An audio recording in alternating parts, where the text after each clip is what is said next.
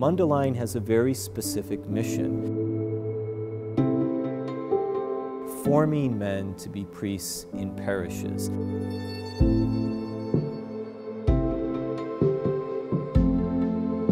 Not just of teaching, you know, not just for giving a skill set, this wonderful term called formation, where you put it all together.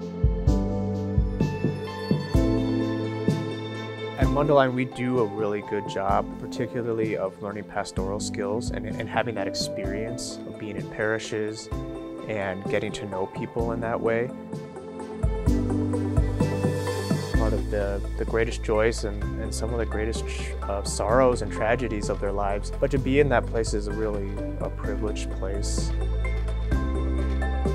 It's necessary for the priest to be able to draw upon the knowledge that he's acquired and to see what that looks like in everyday life and then to speak to it, you know, in order to help people, you know, lead to the healing and the joy and the grace of Christ.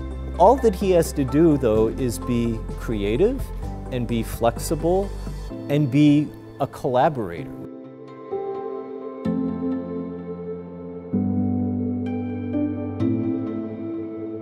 My favorite thing about being here at Mundelein was the fraternity, the community, and the relationships.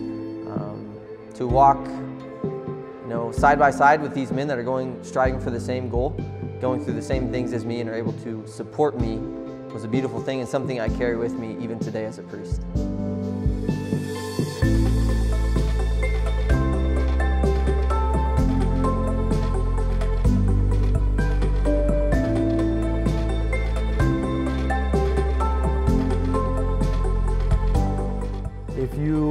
Pick your feet up in the river of grace and you let the river take you, you let the Lord lead you, then He's going to take you to places and people and experiences that you never would have had ever in your life. You can never construct the adventure that the Lord has for you.